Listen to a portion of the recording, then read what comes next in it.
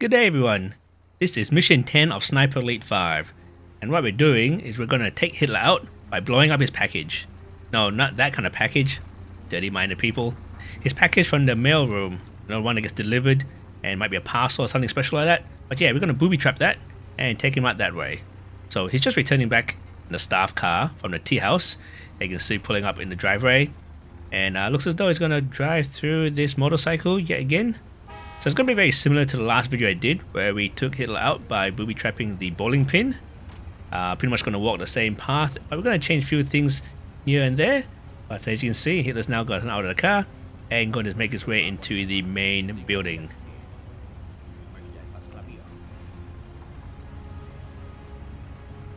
Okay, so we've got a few things to do to prepare beforehand, so let's get on to that.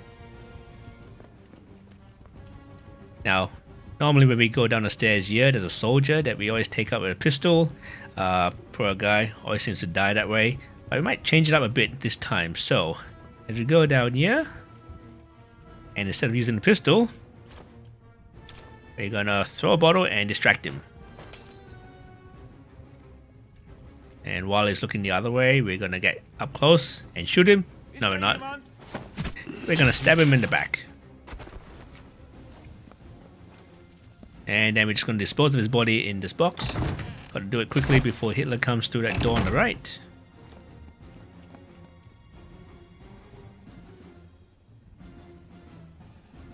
Okay, so there he is. I can just see his shadow now.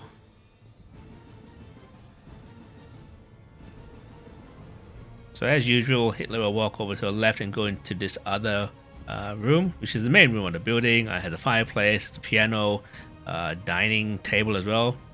But while he's there, we're going to head downstairs to the basement and prepare for the, the entertainment ahead. Anyway, so just changing over the subsonic ammunition. And there's uh, two guards or two soldiers patrolling this area. Oh, there's one directly in front of us there. Now, I'm going to try something a bit tricky. Gonna try to take down two enemies quickly. So um, this first guy will keep walking. Now the other guy's on the left a bit in the small room.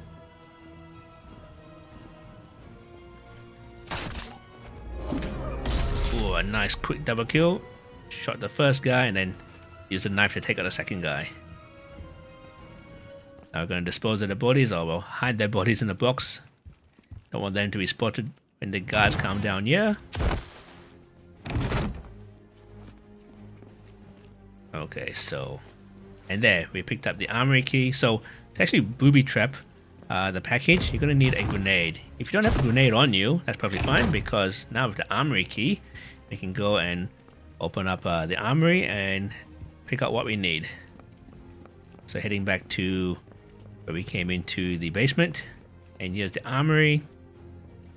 Unlock the door and then inside there's a whole treasure trove of items you can choose from.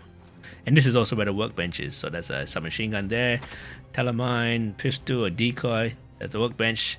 Uh, grenades, we've already got enough grenades, so I can't grab those. TNT, might as well for a hell of it. Uh, shoe mines, uh, there's a supply pouch. But uh, yeah, a lot of things to pick up here, so definitely handy if you need to do so. So as you can see, there's the bowling alley on the left. Uh, we used that last time to take Hitler out. But uh, if you continue here through this hallway, and towards the end of the building, on the right is the mailroom. And there you can see the package on the package table or the, the desk. It'll already have been checked. So you can see sure it's a rectangular safe. one in shape. Easy enough to make it unsafe. But if we change it, we change it to a. Oh, as you can see, it's a grenade. Um, now it's a maybe it's a torchlight. Who knows? Anyway, all that said and done. Now you pretty much set it up. Uh, if you wanted to, you can go and hide and wait for the action to happen, but that takes a long time. Um, don't worry, we're gonna fast forward through so some through some parts here.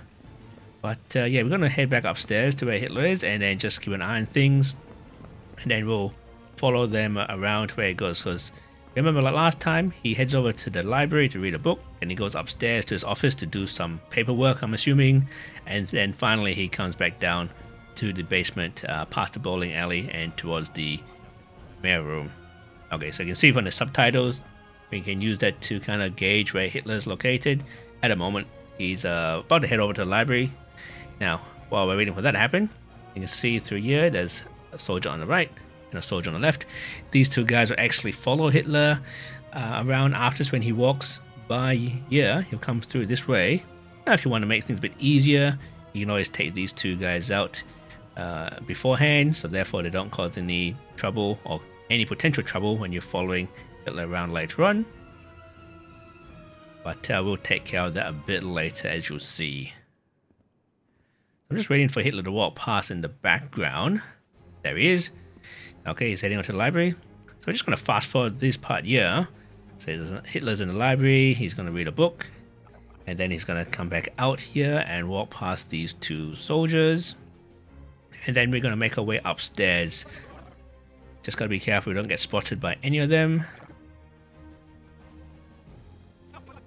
Now we're going to hide around this uh, corner here. And when Hitler walks past on the other side, he stares at a painting for a bit. And then he heads over to his office. Okay, so I'm just going to stand here for a bit. This does take a bit of time. Hitler's doing some paperwork. He then heads over to the balcony, looks out to the views of the mountain, I'm assuming, and then decides, you know what? I think I had enough of the day. Time to go bowling.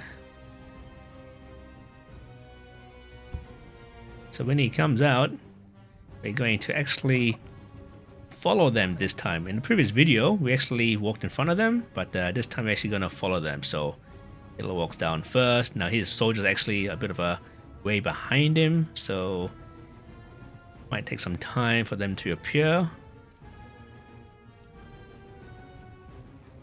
Okay, there they are.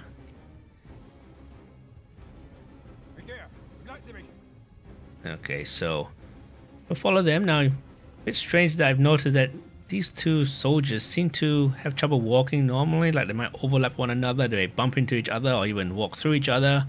Um, yeah, so I don't know if that causes a problem of them like lagging behind Hitler or not, because they kind of like pause for a brief moment now and then. See, like there.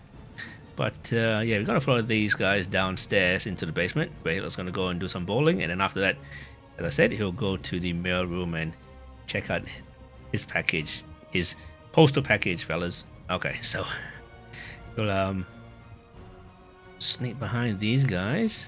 Kind of strange. I would have thought maybe they turn around to, you know, be proper soldiers or bodyguards, but uh, oh well, I guess not. So yeah, these guys seem to have trouble maneuvering or walking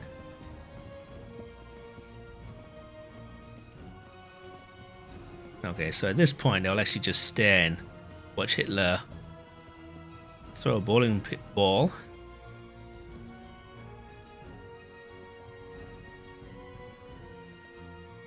Now I'm not too sure. I can't remember. Can't remember, but I think he scores eight pins or something like that. But anyway, uh, what we're going to do here is that these two soldiers can pose a bit of a problem later on, like after the grenade takes out Hitler. So we're going to take them out first. Uh, I'm going to sneak up to the guy on the left, and just as he moves, quietly dispatch him.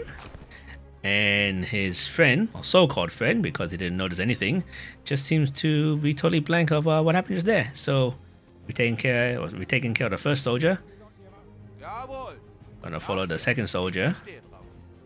See they'd be having a bit of a word with uh, Hitler now and then. Okie dokie.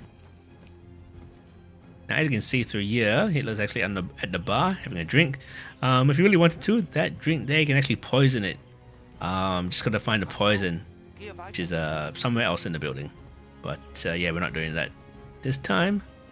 So Hitler walks off, going to the mail room, and this final soldier is still following behind him. Now it is lagging behind him quite a bit.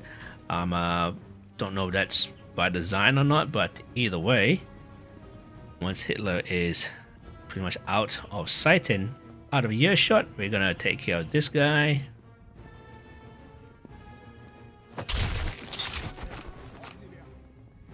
Okay, now we're gonna follow Hitler and uh, see what happens. So even if you don't get close to Hitler, yeah, you will get a cutscene. But I thought, you know, might as well get close enough to see uh, exactly what happens or how it all takes place.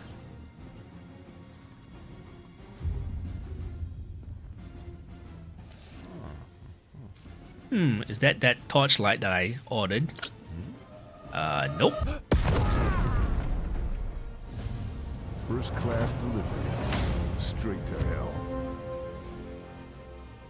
And done. Okay, so um, now we can just head off and uh, play some bowling ourselves.